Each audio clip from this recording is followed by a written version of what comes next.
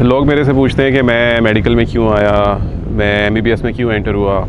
अच्छा डॉक्टर बनने के लिए प्लैब या एम करने के लिए एफसीपीएस करने के लिए। नहीं यार।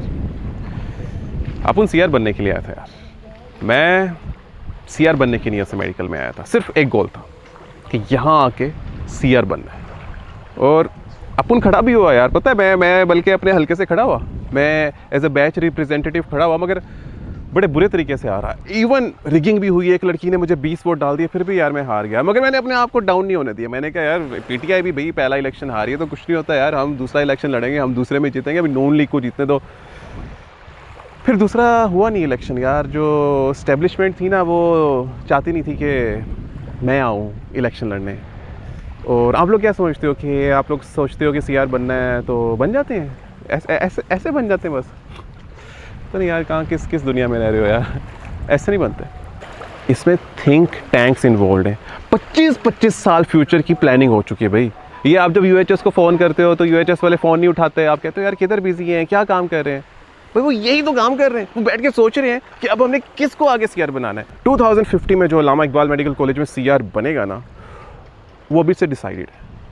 अभी से डिसाइडेड है। यूएचएस वालों ने उस कपल को ढूंढ लिया है जिसका बच्चा पैदा होगा एक साल में और उसको उन्होंने बनाना है सीआर आप अक्सर होता है ना, आप बच्चा पैदा होता है तो अचानक कोई अनोन बंदा गुलदस्ता भेज देता है या मलोक का पैकेट आ जाता है, लिखा भी नहीं होता किसकी तरफ़ से। वो यूएचएस की तरफ़ से होता है। वो चौजन वन होता है कि UHS ने उसको अब चुन लिया कि इसने बड़े होके बनना है सीआर और यार तुम देखो सीआर होते कितने अच्छे यार। हमें ट्रिप्स में लेके जा रहे हैं, हमारी वेलकम करा रहे हैं, हमारी फेयरवेल करा रहे हैं, हमारे बारे में इतना सोच रहे रातों को जाग रहे यार इतना तो हमारे बाप दादा ने हमारे बारे में नहीं सोचा यार, जितना हमारे सीआर हमारे बारे में सोचते हैं एक दफ़ा हमारा सीआर हमें नारान कान ले गया। बहुत अच्छा ट्रिप था। जब वापस आए तो भाई पूरी क्लास नैप बन गई। नैप की तरह कह रही, हिसाब दो हिसाब दो हिसाब दो। वो सीआर इतना बोला, उसने भी हिसाब दे दिया। यार ग्रुप में उसने पोस्ट कर दिया पूरा हिसाब। भाई ये ये पैसे लगे तुम लोगों के जो पैसे थे। और उस हिसाब में उसने लिखा हुआ था कि उसने बीस हज़ार रुपए के अंडे लिए।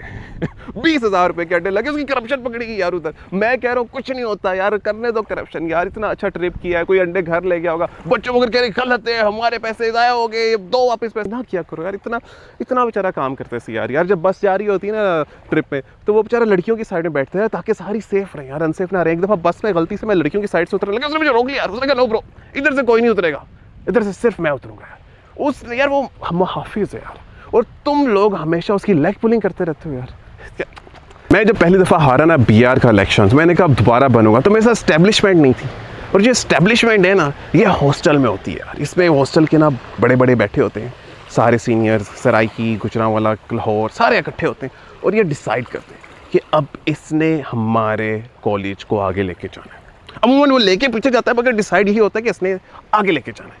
तो उस इस्टेब्लिशमेंट से आपके कनेक्शन होना बहुत बहुत बहुत ज़रूरी यार।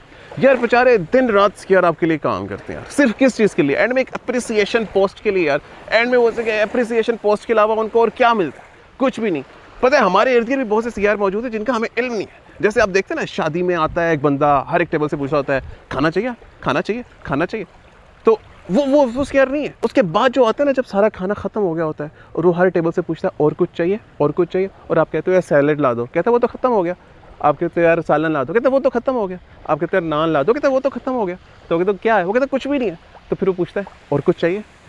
ये सी यार वो जो व्हाट्सएप ग्रुप में एक बंदा नहीं होता जो प्लान बनाता है सारों को उनके घर से बारी बारी पिक करता है, वो सीआर मटेरियल नहीं है। सीआर मटेरियल वो है जो प्लान बनने के बाद फ़ोटो लगाता है और कहता है thank you everyone for coming वो सीआर है। तो इस सी के इर्द गिर्द मटीरियल्स हमारे यहाँ भी मौजूद है। बस निगाह होनी चाहिए देखने वाली। और और और इन लोगों का एमकेट भी अलग होता है भाई। आपको क्या लगता है हमारे जैसा होता है? ना ना।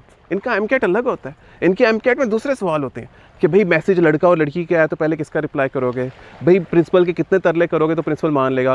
भाई पोस्ट किसके खिलाफ करनी है तो फिर आपके साथ आवाम होगी। ये, इनके एमकेट में ये सवाल होते हैं यार। ऑन अ साइड नोट अगर आपका कोई दोस्त यार है तो उसको यार प्लीज़ सपोर्ट करो यार। उसकी लेग पुलिंग ना करो। वो आपके लिए इतने प्लान्स बना रहा है फ़ंक्शंस अरेंज करा रहा है। तो प्लीज़ उसकी लेग पुलिंग ना किया करो। उसको फुल सपोर्ट करो। सांप ना बना करो आज सीन का कि उसके सामने सही रहो और बैक बैक में जाके दूसरे सीआर से मिल जाओ या दूसरे के नहीं नहीं नहीं। फुल सपोर्ट करो यार। क्योंकि ये सी है जो आपके कॉलेज को, आपकी कॉलेज लाइफ को अच्छा बना सकते हैं। अगर एक अच्छा सी आ जाए तो हैव एन अमेजिंग और अगर बुरा सी आ जाए तो यू हैव अमेजिंग गॉसिप